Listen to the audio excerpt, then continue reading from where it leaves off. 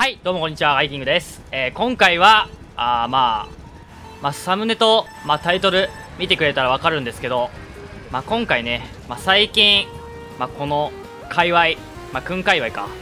まあ、いろいろありましたよね。まあ、あれ事というか、なんというか、まあ、大変なことがいろいろありましたよね。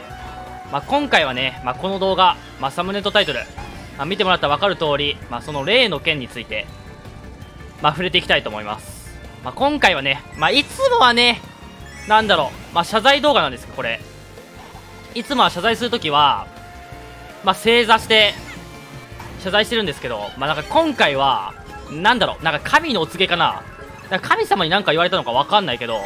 なんかマリオカートしながら、謝罪しろってなんか神様に言われたような気がするので、なんかちょっと不謹慎にあ、不謹慎ではあるんですけど、なんかちょっとマリオカートしながら、まあね、例の件について、まあ、謝罪していきたいと思います。まあね、まあ、例の件について話していきたいんですけど、まあ、話す上で、まあ、今回ちょっとまあマリオカートレースしながら、まあ、喋るんで、まあ、結構時間があるんでね、まあ、ゆっくり喋っていきたいと、まあ、思います。まあ、なんだろうな、まあ、自分は、まあ、このくん界隈に入ったのは、まあ、新50人クラフトの1期からなんですけど、まあ、自分はずっと、まあ、この50人クラフトっていうものに憧れてて最初に50人クラフトを見始めたのが旧50人クラフト。あの K908i とかトラクロとか、まあ、無名だけどフェイクボックスとか、まあ、土木風化とかが活躍してた時から見始めました、まあ、その時はね自分は中学3年生だったかな。高校1年生とかだったかな。まあ周りと馴染めなくて、まあ、陰キャだから。そういう意味合いで、まあ、この界隈というのかがすごく自分の性に合って、まあ、旧50人クラフトを見始めました。ただ旧50人クラフト見てた時にあの時はなんか誰でも参加できたんですよ50人クラフト。だけど僕パソコン持ってなくてゲーム PC 持ってなくてずっと入りたいな入りたいなと思ったけどただ YouTube の動画を見るだけで、まあ、ただ耐えてましたその時は。ずっと参加したかったんですけどねその時は。当時今今では結構俺トラクロとかと仲良しなんですけど当時俺も結構クソガキで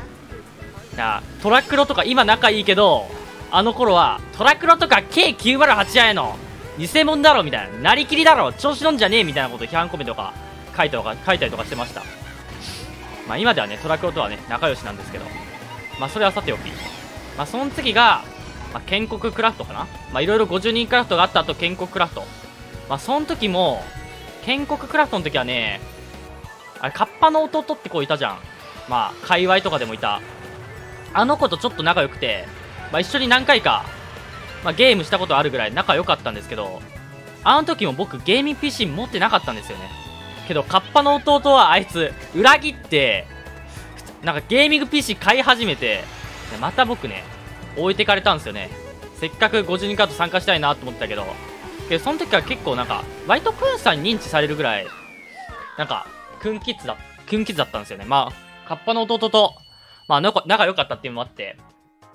まあまあそこそこ自分で言うのもあれなんですけどまあクンキッズの中ではまあ割と頭角を出してた方なんですよね。まあその次にまあいろいろあって次が新50人クラフトか。まあいろいろ紆余曲折あって。そうですね。まあ、界隈とか置いといて。で、新50人クラフトになった時に、ついに、会議員さん、大学生、大学生になって、まあ、自分で、まあ、なんとかね、お金を貯めて、まあ、ゲーミング PC を、まあ、買ってね、まあ、新50人クラフトにね、まあ、裏口入学なんですけど、僕、トラクロと仲良くて、まあ、トラクロに、なんか、50人クラフト入れてよって言ったら、まあ、トラクロが、その時はまだ裏口入学が許された時だったから、新50人カット最初の頃は。まあ、裏口裏口入学で、まあ、入らせていただきました、50人カット。まあ、それが僕の、まあ、50人クラフトの歴史ですね。まあ、とりあえず言えるのは。まあ、今、なんだろう、新50人クラフトの、まあ、新50人クラフトもう3年目か。3年目っすね。もうだいぶ歴史のある界隈だと思います、新50人カットだけでも。まあまあまあ、まだちょっと例の件についてまだ触れてないんですけど、まあまあ、まだ話が、まだマリオカートね、できるんで、まあ、ゆっくり話していきましょう。でね、まあ、例の件についてなんですけど、まあ、新52カットの歴史は、まあ、そんな感じですね。まあ、その次が、まあ、僕が YouTube を始めたきっかけみたいな感じですね まあまあまあまあままだ例の木について触れないですまあまだねマリオカートレース長いんでまだ3分の2なんでねレースまあね僕が YouTube を始めたきっかけは正直まあクンさんを見てとかあとクンさんの他にオパイスさんっていう、まあ、クンさんと仲いい YouTuber の人がいるんですけどその人をもう見てすごいゲーム実況やりたいなって思ったのもあるんですけどそれ以前に最初に俺憧れた人がいてこれ多分言うとすごく笑われると思うんですけど最初に YouTube やってみたいなって思ったのが小学生の頃に見たヒカキンさんなんですよね。ヒカキンさん。小学6年生の時2012年かな。2012年の時に初めてはえっ、ー、とヒカキンさんを見てなんだろう。すごい俺ヒカキンさんがその時好きですげえヒカキンキッズで、まあ、YouTube 楽しそうだないつか大きくなったらまあなんかある程度自立できるようになったらやってみたいなと思ってやり始めました、まあ、小学6年生の時ですね、まあ、その後にクンさんとか見てわゲーム実況いいなとかおぱいさん見てうわトークうまいの面白いなとか見てまあいろいろ憧れたっていうのがあります。だから意外とねそういうところがあります。クンキッズ以前にまあオパキッズみたいなおばしさんキッズみたいなとこもありますカイキングさんは。まあねカイキングさんまあちょっと臭い感じで、まあ、YouTube 憧れたのが、まあ、ヒカキンさんの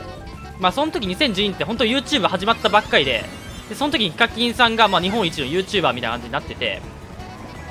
ヒカキンさんが本を出したんですよ。なんか YouTuber みたいな。僕の仕事は YouTuber みたいな。なんか今聞くとちょっとなんかまあまあまあ別にいやななんだろう俺の価値観だと今聞くとなんかちょっと臭いなみたいな。ちょっと臭い臭いなみたいな感じとかありますけど。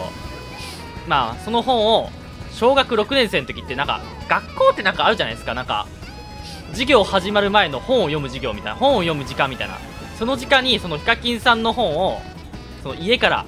持ち出してヒカキンさんのその僕の仕事は YouTube って本を読んでわいいな YouTube いいな楽しそうだなみたいな。ちょっと目をキラキラ吸っていいなと思って読んでてだけど友達とかはなんか若干えお前ヒカキン好きなの？みたいなんでちょっとバカにされたりとかして俺ヒカキン好きだけどなんか文句あんのか？とか言って友達とね、まあ、なんか喧嘩とかもしながらその時は YouTube に憧れてました。そして今のカイキングさんがあります。まあまだねカイキングさん、まあ、チャンネル登録者数2万人とかでまあ全然全然たくさんの人に見られる YouTube チャンネルではないんですけどね。まあこれからもねまあどんどん YouTube チャンネルをね努力してねまあいろんな動画上げてねいろんな人をね幸せにできるような人間になりたいですね。最近カイキングさん前までニートだったんですけど最近仕事始めたんですよねカイキングさん。その仕事がなんだろうなうまく仕事の内容は言えないんですけどなんか子供を喜ばせる仕事みたいなことをしてて仕事の内容言っちゃうとすぐバレちゃう仕事してて今1年ぶりに働き始めた職場が。なんかすごくなんかね、まあ、YouTube チャンネルもこの動画もまあ子供を喜ばせてるんですけどまあ、その今実際にしてる仕事も、まあ、アルバイトであるんですけどなんか子供子供をね喜ばせる仕事をしてて、まあ、YouTube チャンネルも、まあ、子供を喜ばせてなんかすごく最近ね解禁さん人生がね豊かです本当に。なんかね YouTube チャンネルもねまあ今とりあえずアルバイトの仕事は人を喜ばせる仕事ができてるんで、まあ、YouTube チャンネルもねもっとね子供というか、まあ、大人もそうですけど喜ばせることができるようなねチャンネルになりたいと思いますあ、そうですね。これ謝罪動画でした。あ、すいません。そうでした。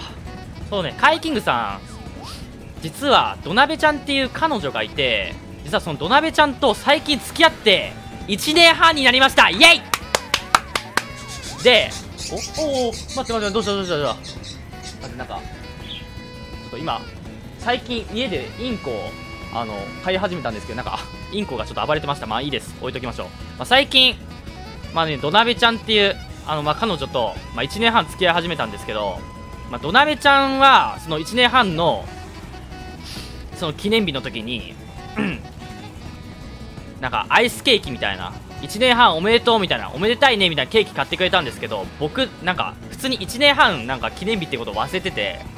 何も土鍋ちゃんに買ってなかったんです。なので、今回はね、まあ、まあ、例の件について、まあ、今回、土鍋ちゃんとね、1年半付き合ってるんですけど、ドナメちゃんに一切何もプレゼントしなかったことについて謝罪したいと思います。というわけでねこの通り頭を丸めさせていただきました。この度は土鍋ちゃんと付き合って1年半なのに何もおめでたいもの買ってあげれなくて、すいませんでした本当に、頭を丸めましたなこの度は、本当に申し訳ございませんでしたというわけでね、えー、今回は例の件について触れる動画でした。えー、チャンネル登録、高評価よろしくお願いします。というわけで、じじ、バイバイ、さよなら、バイバイ。